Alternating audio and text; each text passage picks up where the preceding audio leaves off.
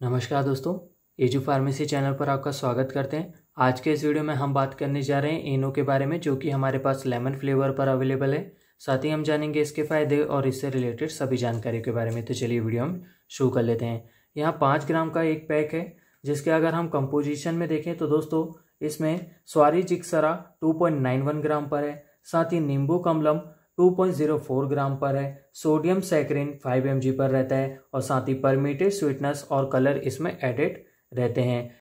इनो का एक पैक आपको कॉस्ट करेगा लगभग नौ रुपये जैसे कि आप यहाँ पे देख भी सकते हैं। यहाँ एक जीएसके का प्रोडक्ट रहता है। यूज़ के बारे में अगर हम बात करें तो दोस्तों, इनो का उपयोग जैसे कि हम सब जानते हैं एसिडिटी की समस्या में किया जाता है।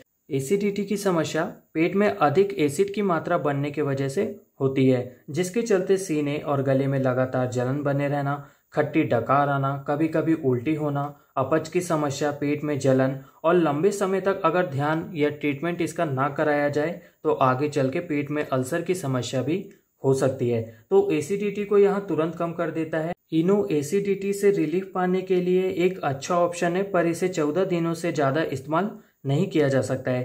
इसलिए इसे आप सिर्फ़ टेम्परेरी प्रॉब्लम के लिए ले सकते हैं। और अगर आपको यहाँ समस्या बने रहती है एसिडिटी की तो आप अपने डॉक्टर से कंसल्ट ज़रूर कर लीजिएगा ताकि आपका जो परमानेंट ट्रीटमेंट है वहाँ हो सके। डोज के बारे में अगर हम बात करें तो दोस्तों ये जो एनो है, बारह साल के ऊपर के लोग इसे ले सकते हैं। अब हम बात करते हैं इसे सेवन कैसे करना है। तो दोस्तों, एक सेचेट आपको डेढ़ सौ मतलब एक गिलास पानी में आपको इसे पूरा डालना होता है और मिलाकर आपको तुरंत पीना होता है, या इसका जो फ़ायदा आपको आधे ही सैचेट के उपयोग में भी मिल जाता है। लेकिन अगर आपकी प्रॉब्लम ज़्यादा है तो आप पूरा एक सैचेट ही इस्तेमाल कीजिएगा। अब काफ़ी सारे हमारे दोस्त यहाँ भी क्वेश्चन पूछते हैं कि इसे एक दिन में कितने बार तक लिया जा सकता है? तो दोस्तों, मैक्सिमम से मैक्सिमम आप दो सैचेट इसके इस्तेमाल कर सकते हैं, लेकिन दोनों सैचेट के बीच में आपको लगभग दो से तीन घंटे का आपको गैप रखना होता है।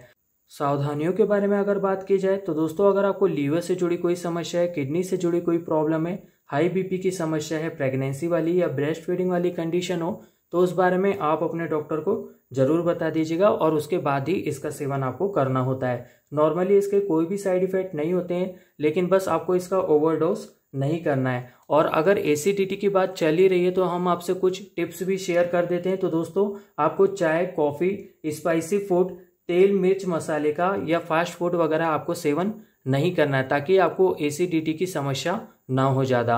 होप आपको हमारे द्वारा दी गई इन्फॉर्मेशन पसंद आई हो। अगर आपको इनो से जुड़े कोई भी प्रश्न हमसे पूछना हो तो कमेंट के माध्यम से आप हमसे पूछ सकते हैं। आपके क्वेश्चन का हम जल्द से जल्द रिप्लाई करने की कोशिश करेंगे। ऐसी ही जानकारी पाने के लिए आप सब्सक्राइब कर सकते हैं एजू फार्मेसी चैनल को और साथ ही बेल आइकन को भी प्रेस कर सकते हैं। वीडियो देखने के लिए और अपना प्यार सपोर्ट बनाए रखने के लिए आप सभी का बहुत बहुत धन्यवाद।